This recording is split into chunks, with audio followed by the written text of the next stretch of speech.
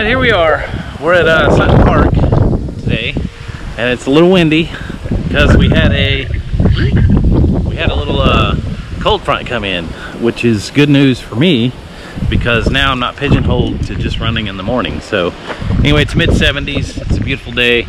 Got the big bright sun. It's uh, afternoon time right now, and uh, just a little bit windy.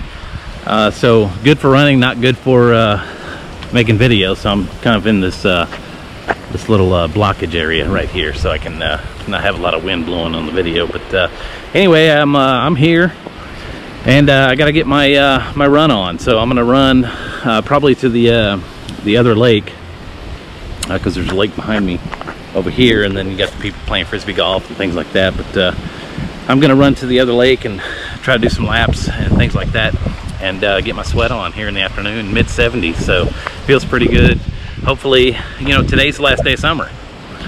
So this is the last day this year that I will run during the summer. Tomorrow will be fall, so it feels pretty good. It's, it's good timing on the cold front. anyway, I better get to it. We'll see you guys after the run.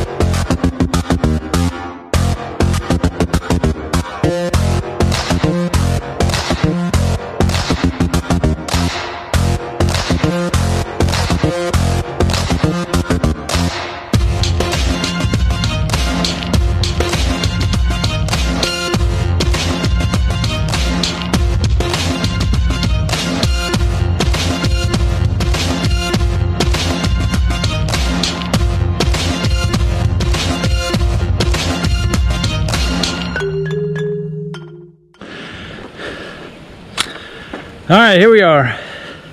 Sutton Park. Last day summer. I got the big bright sunshine.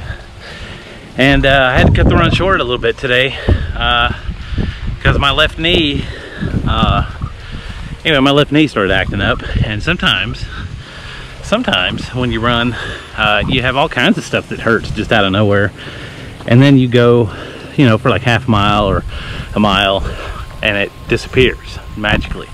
Uh, maybe you're just uh, need to warm up or whatever it is. But my left knee, um, it just wasn't quite, anyway, I'm gonna give it a break. I'm gonna give it a break today and then tomorrow I'll come out and, and see how it does for me because I'm in it for the long game and uh, I don't wanna get injured. So uh, I'm gonna ease my knee's pain and get the run short today and just enjoy the last uh, day of summer as I walk back to my car absolutely gorgeous out here but I'm ready for that sun to start letting up on us a little bit so we can get out and run any time of the day as opposed to being uh, pigeonholed just to the morning. So anyway hopefully that's the case. This cold front's supposed to be here the next few days and I'm looking forward to it. So good luck on your day whatever's out there and we'll see you guys tomorrow